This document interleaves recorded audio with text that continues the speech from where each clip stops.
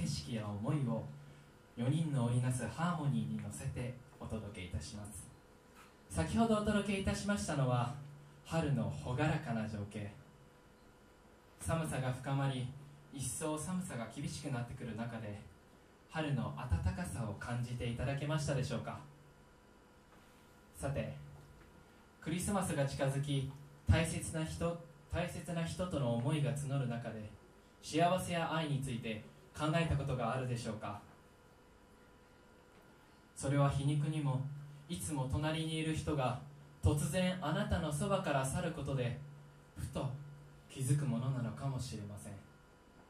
そう。幸せや愛は日常の中に確かに存在するのです。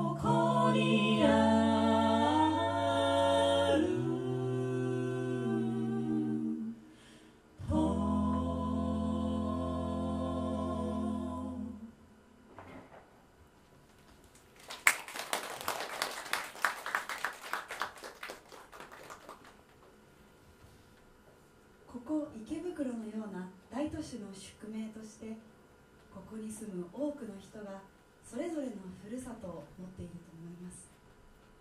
しかしふるさとという言葉の響きにはどこか温かさや穏やかさを感じ取るのではないでしょうか。そんな皆様の中にある普遍的なふるさとをご堪能ください。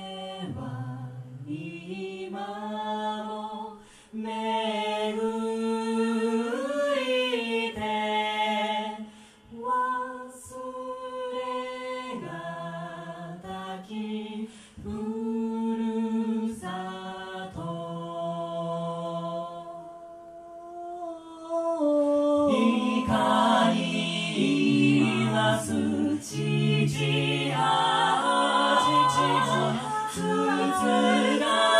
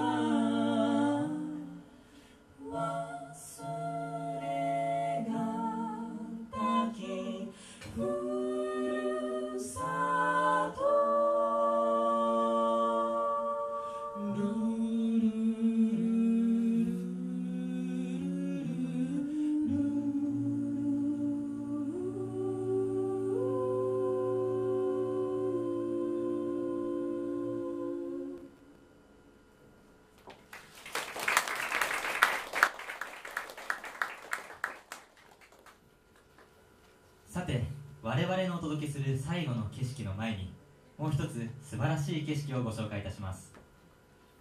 レモンという果物は料理の調味料に使われたりなんかもします。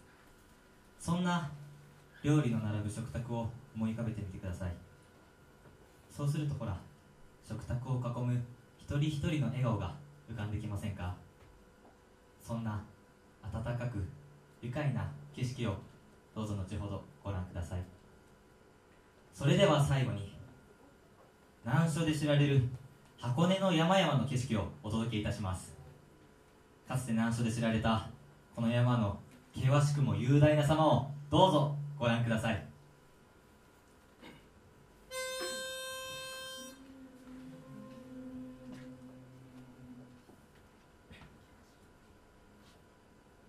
それ！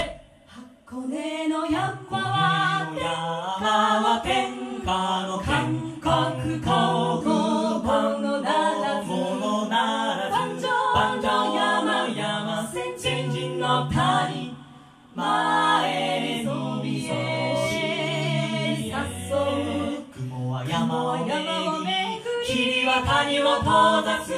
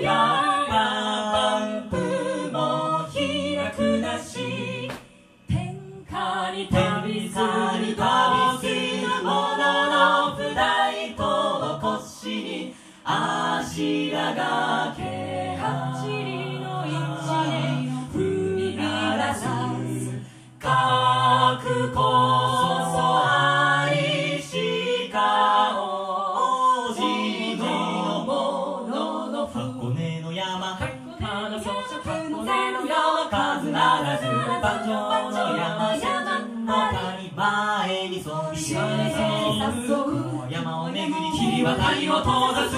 谷を閉ざす。